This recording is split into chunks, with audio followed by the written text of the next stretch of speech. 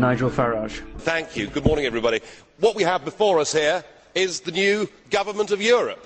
A government that, with the Lisbon Treaty, now has enormous powers. Not just a foreign minister and embassies, not just the ability to sign treaties, but the ability now to use emergency powers to literally take countries over yet what we have heard from the european parliament big group leaders this morning is the demand that you take even more powers and do it even more quickly. perhaps it is worth reminding ourselves that this treaty that gives this commission these powers does not have democratic legitimacy in the european union at all. you ignored referendums you denied referendums and you bullied the poor irish into voting for a second time. i am struck that the common denominator with this commission is the sheer number of them that were communists or were very close to communism. mr barroso himself was a maoist.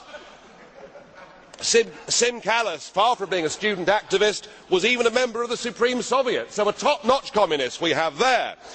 baroness ashton ran cnd and still refuses to tell us whether she took money from the communist party of great britain. now i could go on but we would be here for some time but we have at least ten communists in this commission and it must feel like a return to the good old days. there must be a certain nostalgia amongst the communists. whilst sixty years ago an iron curtain fell across europe today we have the iron fist of the european commission and we have seen it with article one hundred and twenty one and with greece effectively being turned into a protectorate.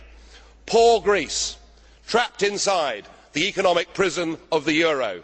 poor greece trapped inside the modern day volkerkerker for which it appears there is no way out. what greece needs mr barroso is devaluation not pseudo monetarism. goodness knows what that is going to do to them. in one thousand nine hundred and sixty eight we had the brezhnev doctrine of limited sovereignty. today we have shared values we have ever closer european union and pooled sovereignty and that is what you have used. but of course it will not just be greece because the same is going to happen to spain to portugal and to ireland. one twenty one will be invoked with all of those. mr barroso you said earlier we will stick to our course and that means millions of people in europe will be put through pain as you attempt to keep together this disastrous project that is the euro. it will fall to pieces of that there can be no doubt as surely as it did for britain during the exchange rate mechanism in. one thousand nine hundred and ninety two you can laugh you can smile it will not work it cannot work it will fall to pieces and as far as the peoples of europe are concerned the sooner it does the better. we need democratic solutions to this. if you go on pushing your extreme euro nationalism this will lead to violence. we must vote against this commission. we must put the future of europe to people in every member state in free and fair referendums. thank you.